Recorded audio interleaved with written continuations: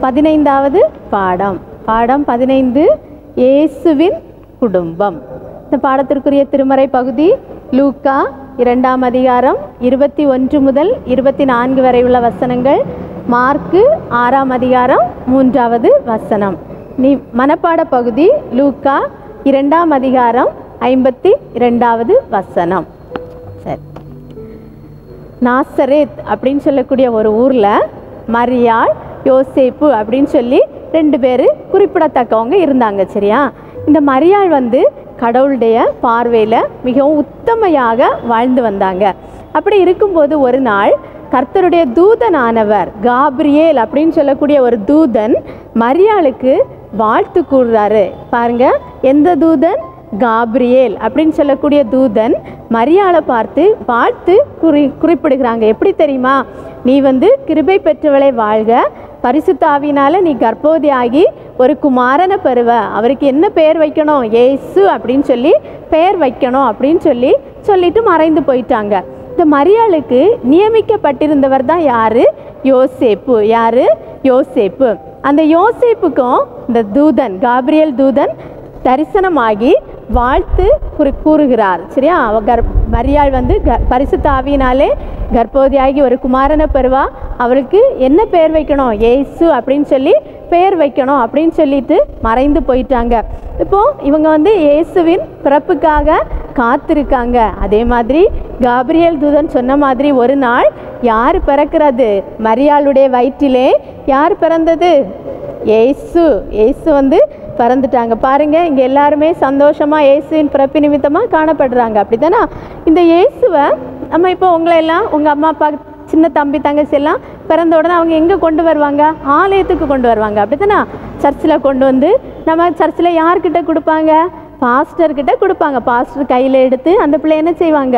Prayer பண்ணி ஆசீர்வதித்து யார்கிட்ட கொடுப்பாங்க? அம்மா அப்பாட்ட கொடுப்பாங்க. அப்படிதானே அதே மாதிரி இயேசுவையும் அவங்க அப்பாவும் அம்மாவும் யோசேப்பும் மரியாளும் எங்கே கொண்டு போகிறாங்க ஆ எருசலேம் தேவாலயத்துக்கு எடுத்துகிட்டு போகிறாங்க சரியா? எந்த ஆலயத்துக்கு எடுத்துகிட்டு போகிறாங்க எருசலேம் தேவாலயத்துக்கு. அங்கே ஆசாரியராக இருந்தது யார் தெரியுமா? நமக்கு இப்போ பாஸ்டர் போதகர் இருக்காங்க அப்படிதானே? அங்கே அந்த டைமில் எப்படி சொல்லுவாங்க? ஆசாரியர். அவர் யார் தெரியுமா?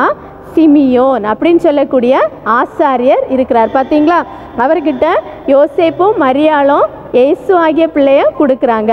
அவர் அப்படியே கையில் எடுத்து அப்படியே ஆசீர்வதித்து அவங்கக்கிட்ட அம்மா அப்பாட்ட திரும்ப கொடுக்குறாங்க.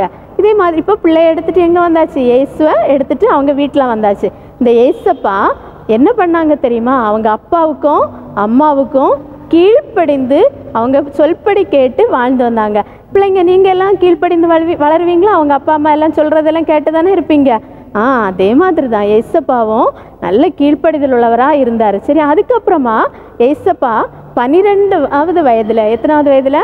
பன்னிரெண்டாவது வயதில் எருசலேம் ஆலயத்துக்கு போகிறாரு அங்கே போய் பாருங்கள் போதகர்கள் நடுவில் எல்லாம் உட்கார்ந்திருந்து அவர்களுடைய பேசவும் வினாவும் கேட் அவங்க பண்ணிகிட்டே இருக்கிறார். கொஸ்டின் கேட்குறாங்க. அவர் கேட்குற கேள்விக்கு அவங்க பதில் சொல்கிறாங்க இந்த மாதிரி அங்கே உரையாடல் நடந்து கொண்டே இருக்கிறது. எத்தனையாவது வயதில் இயேசு ஆலயத்துக்கு திரும்ப போகிறாங்க பனிரெண்டாவது வயதில் போகிறாங்க அது மட்டும் கிடையாது. ஏசப்பா உடைய அப்பாவுடைய வேலை என்ன தெரியுமா? யோசிப்புடைய வேலை என்ன தெரியுமா? தச்சு தொழில். தச்சு தொழில்னா யாருக்காவது தெரியுமா? என்ன தொழில்? தெரியாதா? சரி என்ன தெரியுமா? கார்பெண்டர் அப்படின்னு யாரை சொல்லுவோம்?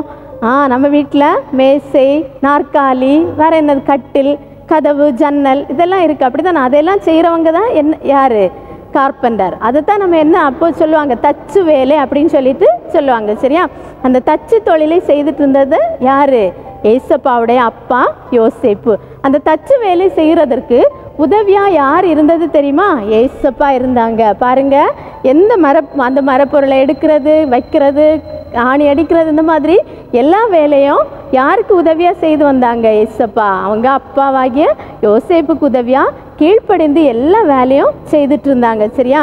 அது மட்டும் கிடையாது. ஏசப்பா இவ்வளவு கீழ்ப்படிதலுடையவராக அவ்வளோ நற்செய்தியெல்லாம் அறிவிக்கிறவராக இருக்கிறதுனால அங்கே ஊரில் இருக்க மக்கள் எல்லாம் இயேசுவை கார் பார்த்து ஆச்சரியப்பட்டாங்க. எப்படி தெரியுமா? இவர் வந்து நாசிரியத்தில் உள்ளவன் இல்லவா? இவர் வந்து யோசேப்பு அந்த தச்சு தொழில்காரன் யோசேப்புடைய மகன் இல்லையா அப்படின்னு சொல்லி ஏசப்பாவை பார்த்து எல்லாரும் என்ன செய்தாங்க? ஆச்சரியம் அடைந்தாங்க பாருங்க ஏசு எப்படி இருந்தாங்க? கீழ்ப்படிதல் உள்ள பிள்ளைகளாக இருந்தாங்க. அது மட்டும் கிடையாது ஆலயத்திற்கு செல்லுகிறவராக இருந்தார். இப்போ நீங்களும் சின்ன பிள்ளைங்க காலையில் எழும்பி நம்ம என்ன செய்யணும்? ஞாயிற்றுக்கிழமை வந்தால் உங்கள் அப்பா அம்மா கூட எங்கே போகணும்? ஆலயத்துக்கு போகணும். அது மட்டும் கிடையாது. நீங்கள் என்ன பண்ணணும்? உங்கள் அப்பா அம்மா என்ன ஹெல்ப்பு கேட்குறாங்களோ சரி தண்ணி எடுத்துட்டான்னு கேட்டோன்னே எத்தனை பேர் கொண்டு வந்து கொடுப்பீங்க? நல்ல பிள்ளைங்க. எல்லாரும் கொடுப்பீங்க. அப்படிதான் அதே மாதிரி கொடுக்காம இருந்தால் கூட நீங்கள் என்ன செய்யணும்? இனி என்ன கேட்டாலும் உடனே கொண்டு வந்து கொடுத்து கீழ்ப்படுதல் உள்ள பிள்ளைகளாக நீங்களும் வளரணும். சரியா? இன்னைக்குள்ள வசனத்தை படிக்கலாமா? இயேசுவானவர் ஞானத்திலும் வளர்த்தியிலும் தேவ கிருபையிலும் மனுஷர் தயவிலும் அதிகம் அதிகமாய் விருத்தி அடைந்தார் ஒரு முறை கூட சொல்லவா?